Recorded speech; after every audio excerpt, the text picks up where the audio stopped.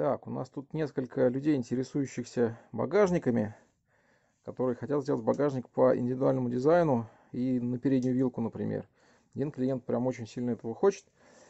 Поэтому решил я подумать, можно ли это сделать или нет. Это видео такое знакомительное.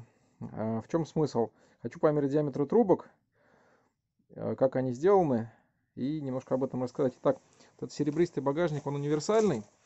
Его можно закрепить на абсолютно вообще любой велосипед, э, если есть снизу крепление под багажник, то есть есть отверстие в раме. А, багажник идет вот таким вот образом сделан, то есть вот эта вот дуга, она, видите, цельная, и она приварена. Это очень хорошо, что здесь нет ни болта, ничего. Это, во-первых, легче, а во-вторых, это надежнее.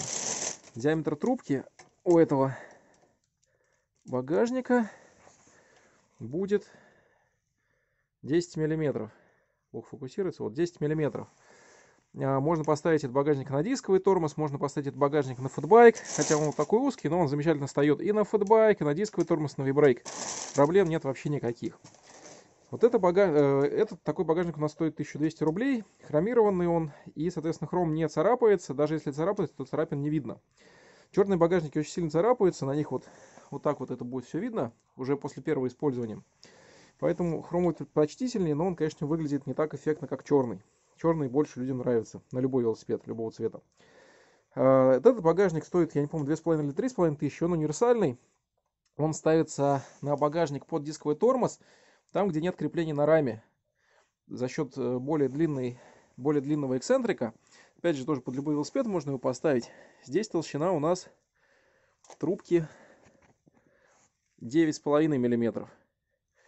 Тоже, опять же, он очень прочный. Опять же, у него, видите, вот как сделана вот эта цельная дуга. Это очень важно. То есть нет ни заклепок, ни крепления, ничего. Дуга проходит полностью. Э, вот эту прищепку можно снять, облегчить. И он, конечно, намного тяжелее, чем вот этот алюминиевый. Алюминий вообще ничего не весит. Я не знаю, сейчас, может быть, даже взвешу. Есть багажник от фирмы Topic. Топик. Это багажник фирменный под фэтбайк. У него нагрузка официально 30 килограмм, у этих багажников официальная нагрузка 25. На самом деле вообще без разницы, он что выдержит. Вопрос, сколько выдержит винтик, который вам в раму вкручивается, выдержит резьба на раме. Так, диаметр ноги здесь побольше, здесь, наверное, 12. Сейчас посмотрим. Да, здесь 12 миллиметров. То есть, видите, в чем разница? Здесь 12 миллиметров, он попрочнее. Там 10 миллиметров, он послабее. Соответственно, сейчас пойду, посмотрю, какие трубки есть под багажники. Может быть 8 мм, может быть 10. Будем думать, что сделать. Вот, кстати, багажник, про который я говорю, который крепление на винтах. То есть, во-первых, здесь будет резьба, то есть он может и разбалтываться, и болтаться, и шуметь за счет этого. Плюс за счет стальных винтиков, там на 5 граммов тяжелее он будет, конечно. И вот дизайн вот такой. Мне как бы не очень это нравится. Мне нравится, когда идет дуга цельная. И крепление, соответственно, любого багажника на любой велосипед то есть вот здесь вообще треугольник задний перевернут, э, 28 колес. То есть любой багажник можно поставить на любой велосипед, просто надо немножко придумать, как это сделать.